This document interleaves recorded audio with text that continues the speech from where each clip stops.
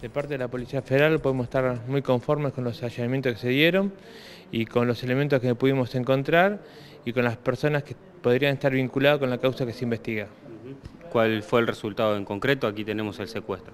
Fue más de un millón de pesos, eh, tenemos 700 eh, dólares, 100 eh, euros, tenemos distintas armas de distintos calibres secuestradas, tanto armas largas como armas de puño, municiones, droga, en este caso cocaína y marihuana, y también como así también tenemos una balanza de precisión eléctrica, y tenemos mucha documentación que es de interés para la causa, como así también eh, DVRs, donde tenían las viviendas, eh, cámaras de filmación y registro. ¿Cuántos allanamientos fueron y en qué zonas de la ciudad?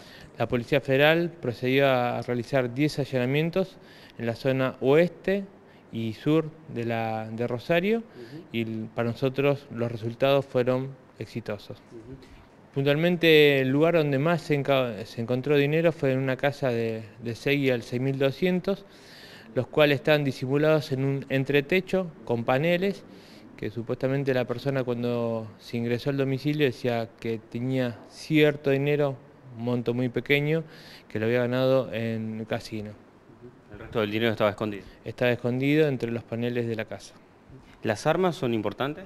Sí, son importantes, sobre todo si hablamos que son de calibre 9 milímetros, donde los últimos hechos que son de relevancia y, conocimiento público efectúan los disparos con calibre 9 milímetros. Las armas que se encontraron, por ejemplo, tenemos una escopeta 1270, que es la que utilizan las fuerzas de seguridad, tenemos un fusil que utilizan los grupos de asalto y después tenemos también una Winchester eh, carabina que son utilizados por que tiene un alto poder de fuego y utilizados por distintas personas. ¿no? ¿Están las municiones para utilizar esas armas? Exactamente, y lo que le quería decir anteriormente es que no cualquiera puede utilizar ese tipo de armas, tiene que ser una persona que tenga conocimiento. Además, imagino un, nivel económico para poder comprarlas, porque deben, ser, deben tener su precio. Obviamente, son altos costos lo que sucede y también como comprar las municiones tiene un, un alto costo. Detenidas tenemos cuatro personas, de las cuales están afectadas la ley de estupefacientes.